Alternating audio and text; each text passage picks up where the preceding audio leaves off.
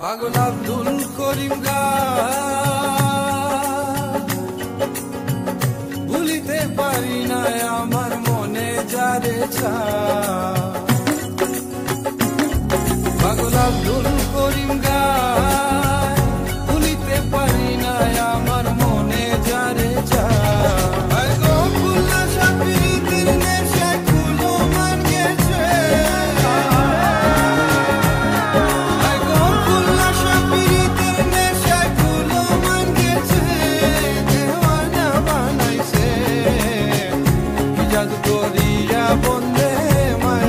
hello this is me S T রিস্তা চলে এলাম নতুন একটি ব্লগ নিয়ে আমার পেজ অভদ্র মেয়ে থেকে।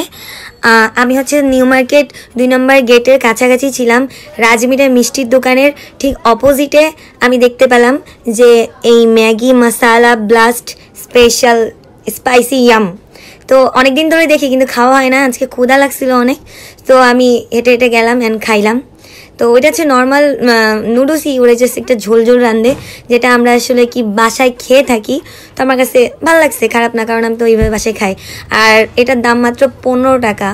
তো এটা ছোট একটা গ্লাসের মধ্যেই দেয় কফি গ্লাস এটা যে কেউ খাইতে পারে। তো আমিও খাইলাম, ভালোই লাগল। যদি আমি একটু বলতেছিলাম ঠান্ডা কেন?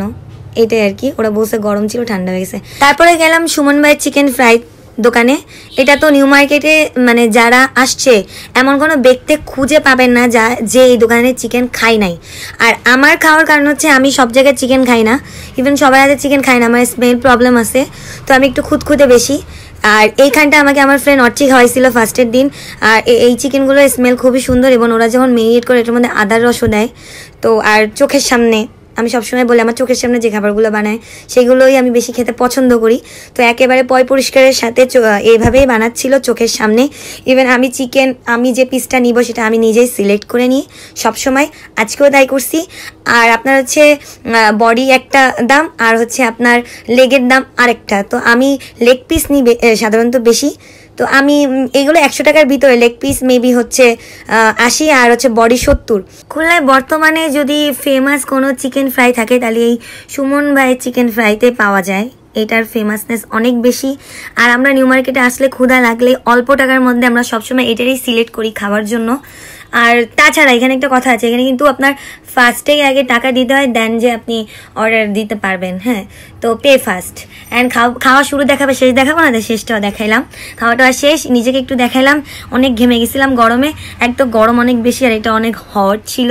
তারপরে এখান থেকে চলে গেলাম বাসার উদ্দেশ্যে সাত রাস্তা দিয়ে দোলখোলায় ঢুকতেছি। আমার বাসার সাত রাস্তা দোলখোলায়।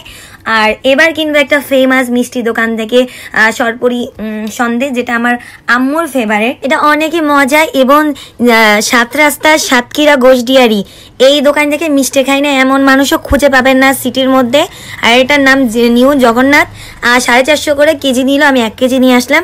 এবং আমার সাথে সাথে আমার আম্মুরও অনেক ফেভারিট আমারও অনেক ফেভারিট আর আমি তারা আমাকে যখন ভিডিও করতে দেখতেছিল, বলতেছিল, আপনার কি পেজ আছে না? উনি আমাকে দেখছে। দেন উনিকে সাবস্ক্রাইব করল, আমার পেজে লাইক দিল অ্যান্ড বাসায় এসে আমি খাওয়াটা দেখালাম তো আল্লাহ পেজ আজকে ভিডিও এই পর্যন্ত। ভালো থাকবেন, সুস্থ থাকবেন। আবার দেখাবেন নতুন একটি ব্লগের সাথে। টাটা। ও, দাঁড়ান, যান না যান না, একটু শোনেন। একটা কমেন্ট লাইক একটু দিয়ে যান, নাহলে আমার পেজের ভিউ বাড়বে না। Please please please